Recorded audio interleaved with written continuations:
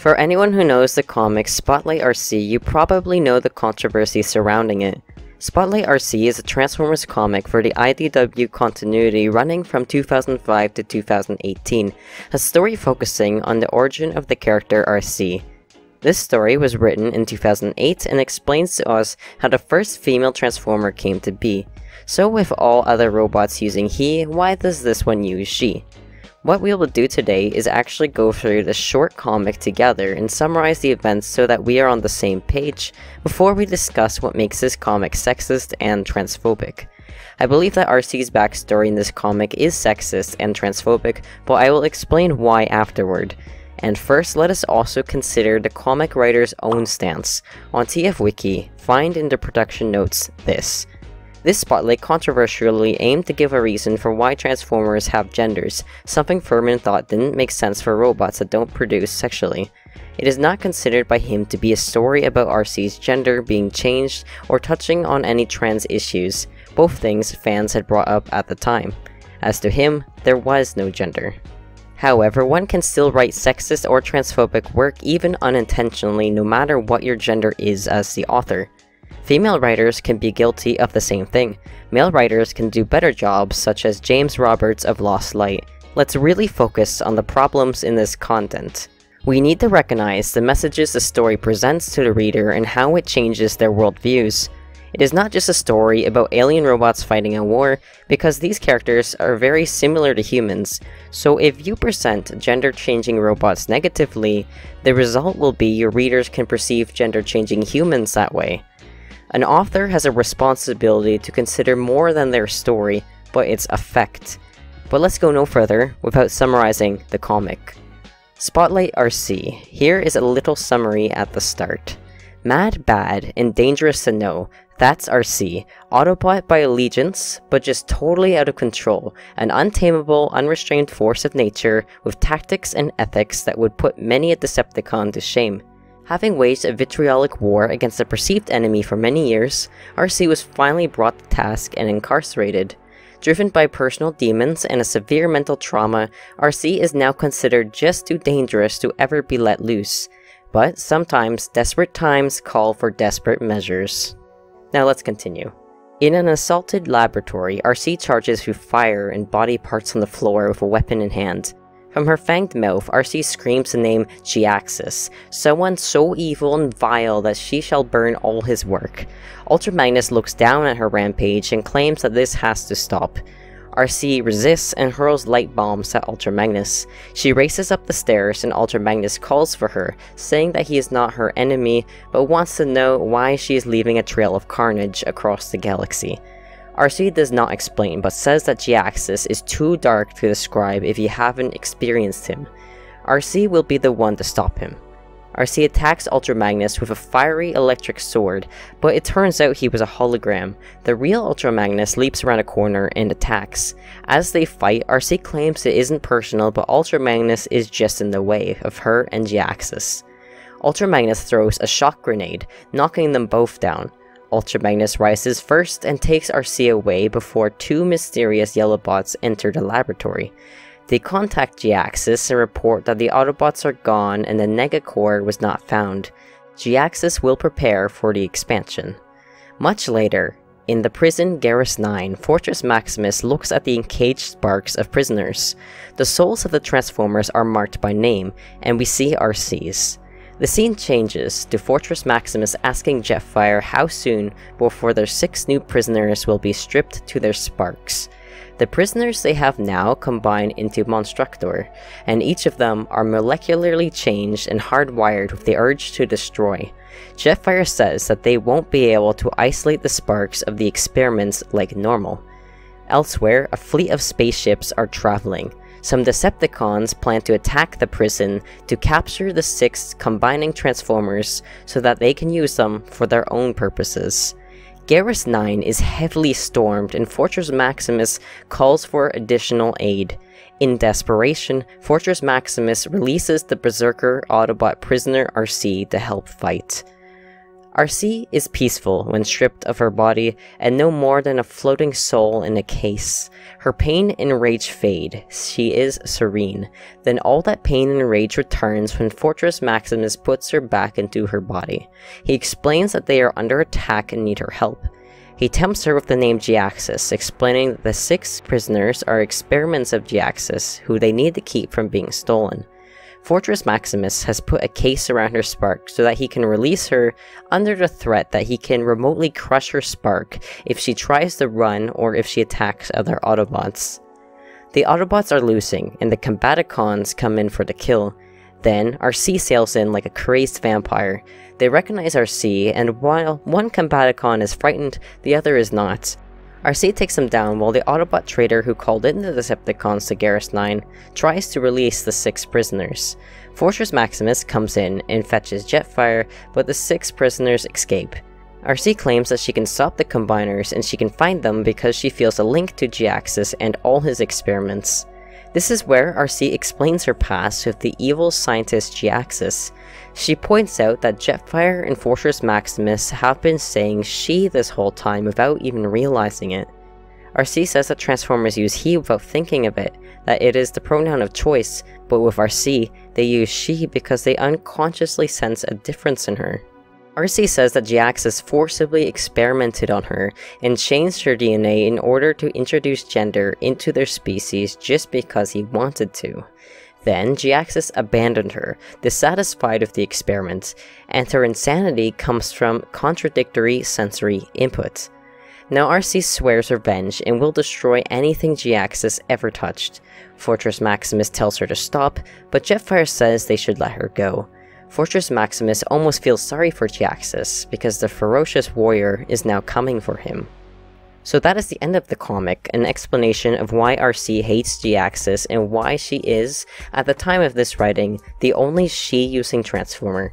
But after 2008, you see that there are many other female Transformers introduced into the story who are not experiments but Transformers characters from Colony Worlds. The continuity decided that this was a more inclusive decision because otherwise, they were just not ever writing any female characters. And people like female characters, and you have a large female audience.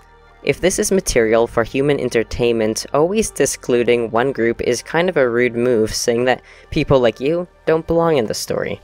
So the entire lore shifted, saying that Transformers started adopting gender after they saw gender in alien species. It's a bit of a weird assumption that aliens besides human would have male and female, but that was the reasoning in IDW. Some of the robots thought that she was a better word to describe them. Cybertronians used to have he and she, but lost she in its isolation, while other Cybertronian colony worlds kept using both in their language. Characters like Anode and Lug from Lost Light are trans characters because they used to use he, then learned about alien gender, and they liked she for themselves, thus changed their pronouns and even modified their bodies to something they liked better. Other Cybertronians who do not understand this gender culture are confused, which is why Anode explains it. So that leads to the question, what was changed in Arcee exactly? It's actually about to get really confusing. Let's just quickly examine how Arcee's backstory was revised to follow the new universe rules and combat the controversy of the original story. In Optimus Prime issue 25, published in 2018, a decade later, Arcee retells her Jhiaxus story to the human Marissa Faireborn. Arcee says that she was born male, but it did not match her spark soul. She came to a scientist named Jhiaxus to ask for help to modify her body, but he altered her DNA and abandoned her. So Jhiaxus had tampered with her in a way she did not want and damaged her body, meaning that the original story of him forcing her to have gender is gone now. Arcee wanted to be a she, yet now that completely clashes with how angry she was in Spotlight Arcee about being called a she. IDW Arcee no longer has a coherent backstory, but it isn't the retcon's fault alone because everything here about gender makes no sense. First, he versus genderless. This topic I've covered before in my video Why Female Transformers Should Exist. Male and female are both genders. We know that, right? He is the pronoun of masculinity while she is the pronoun of femininity. Therefore, by using he, you have already given your Transformers gender. The writer of Spotlight Arcee claims that the robots are genderless, so why is it that he is genderless and she is gendered? Well, this writer in particular is known for arguing that female Transformers don't make sense. His belief is so firm that it has its own section on his wiki page.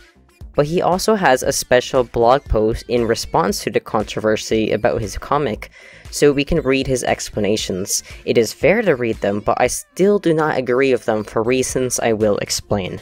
For context, his post is in response to the writer of the IDW Windblade comic, because he feels that she had unfairly accused him of sexist and transphobic writing. They have since talked through their feelings, but Scott found it important in her writing that Windblade not be female by accident or by force, or against her will, or just for kicks. So the author's post explained that he was not pleased with the retconning, perceiving it as offensive to story writers and to the audience whenever retconning occurs. The writer felt wrongly accused of standing out to be offensive to women and trans people, and to say that he was, by another comic writer, was a personal attack.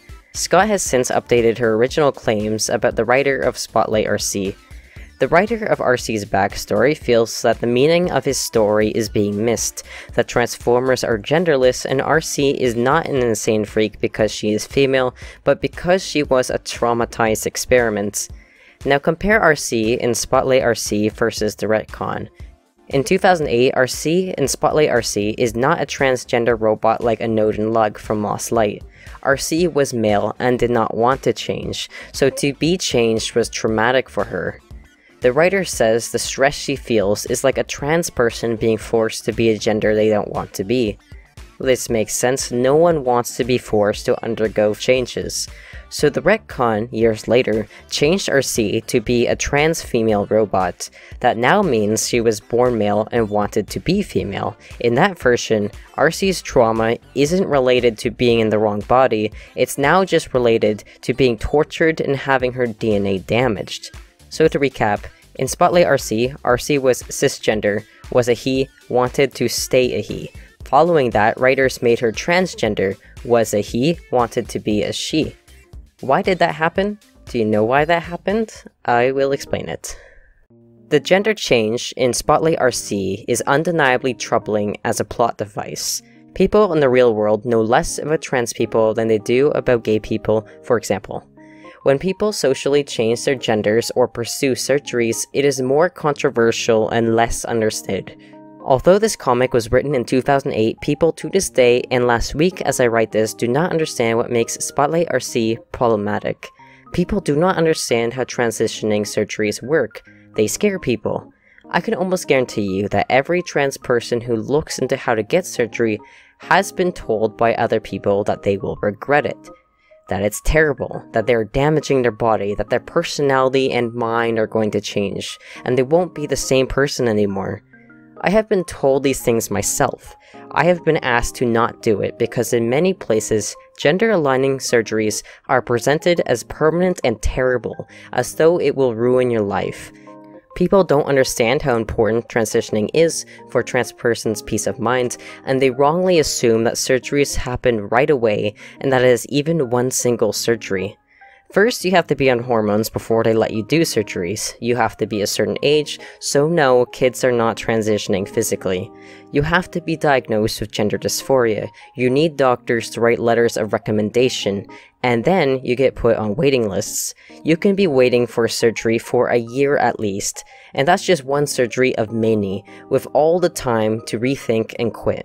It is not easy to rapidly change yourself, and there are obstacles in the way to make sure that the transitioning person is certain.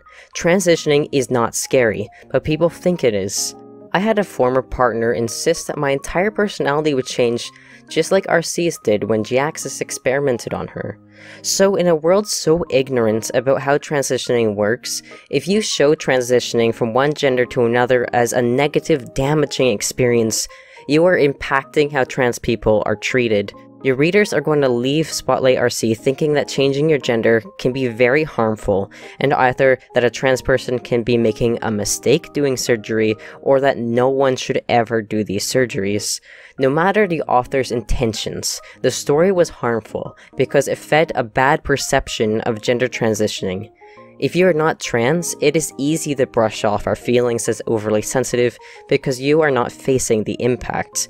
Misrepresentation in media from this comic to shows like Family Guy and South Park matter because showing transitioning in inaccurate and negative manners is often the only exposure someone ever gets to transitioning. This comic supplies only more unconscious evidence that bad things happen in gender aligning surgeries. Ultimately, this story can't be fixed, and retconning just made nothing match up. Even the retcon doesn't make sense. Nothing makes sense because gender and sex is completely misunderstood. The writer of Spotlight Arcee himself had no comprehension of gender versus biological sex and wrongly uses gender in writing and in his blog post. So the writer describes his character Arcee as cisgender male, or let's say what he means, a genderless robot who uses he. If Arcee is he, wants to be he, then that is what Arcee is regardless of her body. Jhiaxus did not change her spark, so if you are telling us this character is he at heart, that is Arcee's gender. Therefore, you the writer must respect that and describe Arcee as male and use he. And you focus on how Arcee tells other characters, I am a he, do not judge my body type. In the writer's blog post, he writes Arcee as she because of her body type which is fully misgendering his own character as he describes her. It is a reveal that this author does not understand trans issues if he doesn't know how trans works. Now in regard to Arcee's physical changes, what changed that would have made her biologically female? Let's go with the claim that Arcee's gender is male. Okay, now tell me what made her sex female? What the heck can that mean? We're still assuming that Transformers are asexual unless you are telling me that Jhiaxus made Arcee capable of getting pregnant or something. So the implication is that other Transformers are sexless and now Arcee is sexual. Somehow. Only her DNA is mentioned being changed, though we may assume her body shape also, but how do you determine that Arcee was made female in a species that lacks sex chromosomes? You can totally mess with a robot's DNA, yet there is no standard for what makes them now female. We are also being told that Arcee's DNA change in her cells can also be sensed by other robots and make them instinctively call her she. There's no logic to it. The entire story makes no sense and it encourages ignorance around gender transitioning surgeries, and it ignorantly claims that physical changes make gender. Uh, again, if Arcee is a he inside, no physical changes will change that, and if you the author claim your character is one gender, you must not completely misgender them outside of their story. The sexism issue is not nearly as hard to explain, just consider that the writer had the freedom to write Arcee's origin story however he wanted. If you are told that you must write a story to explain the first female Transformer, how would you do it? Out of all the possibilities, this writer decided that the first female Transformer would be an insane experiment who hated being female. That is another real rude move doing that. Your first female character the readers see is fanged, insane, just an image of rage that hates herself. She breathes through gritted teeth, she, like the other characters have just been saying an insult. She hates her female body so much that the only peace she feels is when she is separated from her body. The reader's perception matters so much here because when I read this story for the first time, I did not like it. It was upsetting to see the first female Transformer despise being referred to as she, and hating her body that much. And as a trans person, to see a torture scene of gender transitioning made me worried that people were going to think that this was the kind of thing I was putting myself into. The author of Spotlight Arcee may know better, but his audience does not. When you have the freedom to make up the first female Transformers origin story, choose anything else but this. Care about your audience, tell a story that doesn't leave bad messages. That's all. Find more information in the links in the description below.